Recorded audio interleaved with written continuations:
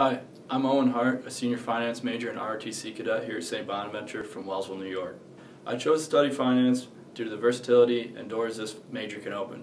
I also chose to join ROTC to better develop myself as a leader and develop my management skills. Upon graduation, I'll commission as a second lieutenant in the United States Army, where I'll head to Fort Benning, Georgia to attend Armored Basic Officers Leadership course while I learn how to be a tanker. However, I do intend to use my finance degree and take advantage of the Army's basic housing allowance and buy real estate along the way at every duty station I'm at.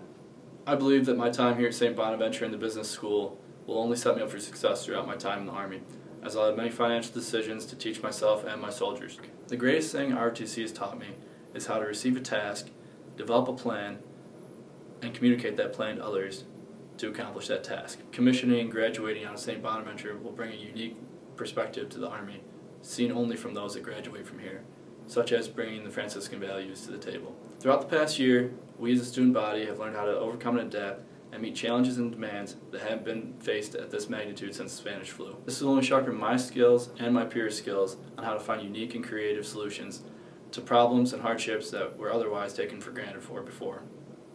Thank you for taking the time out of your day to check out my video. And if you'd like to contact me, here's my information.